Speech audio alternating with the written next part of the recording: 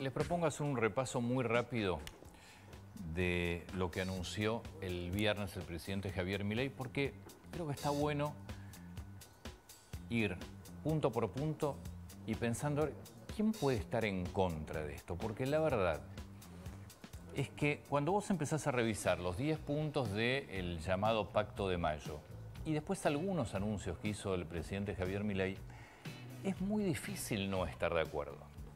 Claro, salvo que vos pertenezcas a una estructura tradicional de la política y de los negocios, alguna política tradicional del sindicalismo, que se entiende, lógicamente, que esto viene a romper con todos los negociados que históricamente se dieron hasta hace muy poquitos meses en la Argentina. Empecemos por lo que es el Pacto de Mayo. Inviolabilidad de la propiedad privada. ¿Alguien puede estar en desacuerdo con esto?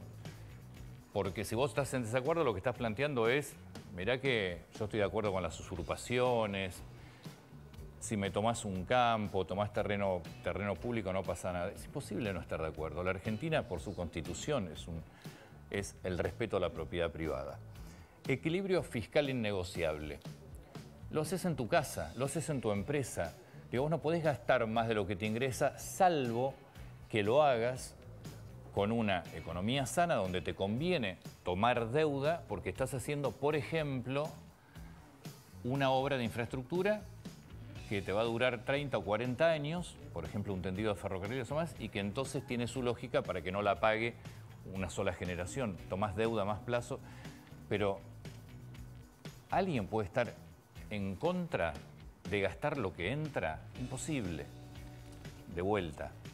Esto en la, en la parte más lógica, en la estructura política tradicional, donde no importaba si gastás más, total emiticia, otra cosa, Reducción de gasto público a niveles históricos en torno al 25% del Producto Bruto Interno, que tiene mucho que ver esto con lo que es el equilibrio fiscal.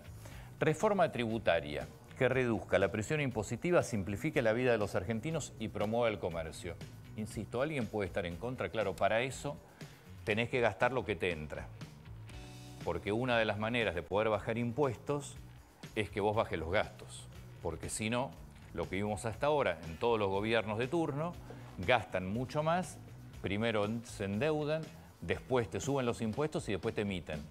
Porque como ya poco a poco te vas quedando sin posibilidades, terminás emitiendo. Por eso, entre otras cosas, no quieren la dolarización. Rediscusión de la coparticipación federal. Bueno, esto es central. Esto lo marca nuestra Constitución del año 94, donde establecía 24 meses de plazo para fijar una nueva ley de coparticipación. Acá van a tener que trabajar los gobernadores y van a tener que ponerse de acuerdo y la Argentina de una vez por todas va a tener que establecer una nueva ley de coparticipación que no sean todos parches como hasta ahora. Compromiso de las provincias de avanzar en la explotación de los recursos naturales. Argentina tiene, y sobre todo en minería, un potencial enorme de inversión. Hay provincias, caso Catamarca, caso Mendoza, caso Chubut, que no están de acuerdo y no, explotan un recurso natural que en condiciones de seguridad y lógicas significarían para cada una de esas provincias muchos puestos de trabajo y mucho dinero en exportaciones.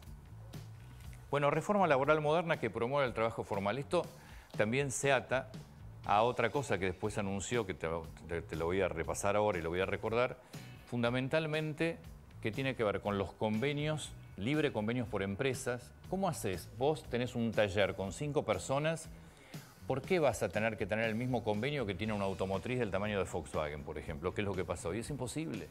La persona que tiene tres empleados no tiene la capacidad de negociación que puede tener una automotriz o que puede tener de, acuerdo a lo que te toque como sector. Entonces, hay que terminar con los convenios colectivos por sectores y tienen que ir por empresas, porque cada empresa tiene una realidad muy diferente. Y esto también tiene que ver con los mandatos sindicales que van a quedar o que deberían quedar limitados a un periodo más una reelección y terminaría con el 95% de los líderes sindicales que están hace 20, 30 o 40 años, bajo la excusa de me vota la gente, cosa que no es cierto, te votan otros dirigentes que tenés acomodados dentro de tu, de tu propio sindicato. Y además, digo, está claro que esta situación laboral tanto por parte de los gobiernos como de los sindicalistas, lo que menos generaron es beneficio a los trabajadores. Más del 40% de los trabajos son en negro, sin ninguna clase de protección, sin ninguna clase de beneficio. Y esto es con estos sindicalistas que tenemos hace 40 años. Bueno, la reforma previsional, te diría que esto fue lo que creo que generó más ruido dentro de un sector político porque es, dijeron, ah, la vuelta de la CFJP. No, la vuelta de la CFJP en definitiva es el que quiere ir a un sector privado, irá al sector privado, el que no quiere seguirá al sector público, pero acá va a venir, me parece que la reforma previsional hay que verla de otra manera. ¿Se va a subir la edad jubilatoria? Es muy probable. Es muy probable, porque vos tenés que hacer tenés que hacer un sistema que está completamente desfinanciado, hacerlo lo más equilibrado posible, con lo cual deberías terminar con los distintos regímenes de privilegio o especiales. Saquemos privilegios, regímenes especiales, que también tienen aportes especiales en muchos casos, pero hay muchos regímenes que se jubilan antes, con menos aportes. ¿Han aportado más? Sí. La Argentina tiene que ir a un sistema general similar entre todos los sectores. Misma cantidad de años, misma cantidad de aportes, se cobra la misma jubilación. Y el otro punto, por supuesto, es la edad jubilatoria, que seguro se va a plantear ampliarla y que también tiene su lógica, pues si tu expectativa de vida es mayor, ¿por qué no vas a? En definitiva, seguís trabajando. Pero fundamentalmente, pues está estallado el sistema y sobre todo en los últimos años, donde más de 4 millones de personas se jubilaron, se jubilaron sin tener los aportes. Me puedes decir, bueno, pero lograron jubilarse, sí. ¿A costa de qué? A costa de financiar mucho más un sistema que ya estaba desfinanciado. Y eso lo tenés que modificar. No hay duda que hay que modificarlo. Reforma política estructural acá es donde te diría va a haber, si querés, mayor resistencia. Porque esto termina con la política, con el sistema político como se lo conoce hasta ahora. Termina con la estructura política como se la conoce hasta ahora, donde generó la Argentina que generó. Acá, si querés, es la que va a tener mayor resistencia. También es la más intangible para poder hacer. Y la apertura al comercio internacional, me parece que no sé si alguien puede estar en contra que la Argentina se ponga en el comercio internacional con las principales potencias comerciales del mundo en lugar de mirar las dictaduras principales como Cuba, Venezuela, Nicaragua, aunque Angola. Entre otras cosas que anunció que me parece que es interesante, bueno, lo de las jubilaciones de privilegio ya te lo contamos, sindicatos con libre elecciones, central, convenios colectivos libres, lo que te decía recién, personas condenadas por corrupción en segunda instancia no podrán presentarse a un cargo. ¿Por qué segunda instancia? Porque en primera te dicen no tengo sentencia libre. En segunda te pueden decir lo mismo, pero ya son dos sentencias. Es lo mismo que en Brasil en este caso. La ficha limpia, entre comillas, de Brasil. Todo exfuncionario con condena firme perderá todos los beneficios. Digo, ¿alguien puede estar en contra de todo esto? reducir asesores de diputados y senadores con topes específicos, se descontará la jornada de sueldo de los empleados del, Estado con motivo de paro. Esto se puede hacer hoy, el problema es que cada vez que lo hacen la justicia termina fallando a favor de quienes hacen paro, porque en realidad vos tenés derecho a huelga, lo que no implica que no te descuenten el día.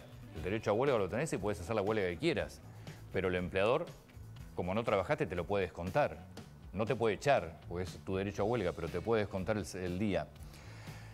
Eliminar el financiamiento a los partidos políticos. Ustedes recuerdan, ¿no? Antes no existía la, financiación a los partidos políticos. Se puso este sistema de financiación donde el Estado, de acuerdo a la cantidad de votos, te da una enorme cantidad de dinero, porque lo que se dijo fue, si no ponemos esto, solamente llegan a la política los ricos. La verdad es que no hay mucha diferencia con lo que se ve hoy más allá del dinero que sale de nuestros impuestos, a bancar muchas veces sellos de goma que después se venden carísimos en las elecciones. Y después finalmente el proyecto para penalizar con, cárcel, si necesario, a todos aquellos que impriman dinero, esto es presidente del Banco Central, ministro de Economía, presidente de la Nación, directorio del Banco Central, eh, que impriman sin ningún respaldo. Bueno, esto es muy sintéticamente parte de los anuncios los más importantes que hizo el presidente Javier Milei el viernes. Yo lo que digo, ¿quién puede estar en contra? En serio, ¿quién puede estar en desacuerdo con todo esto que yo le conté? Nadie. Entonces, prestemos mucha atención a cómo siguen las negociaciones, porque esto debería ser toda la clase política, si realmente quieren una mejora en la Argentina y quieren un país con, que progrese y que le dé posibilidades a nuestros hijos, en lugar de irse al exterior, que se queden a trabajar y estudiar, la verdad es que no debería haber ninguna, ningún, ningún problema. Ninguna de estas medidas debería tener alguna clase de oposición, porque son, de nuevo, hasta de sentido común. las haces en tu casa, las haces en tu empresa, si tenés una empresa. Nada de esto es, es insólito, nada de esto es imposible. Claro, tenés que dejar de robar, tenés que dejar de vivir de la política y ponerte a vivir para la Argentina. Atención.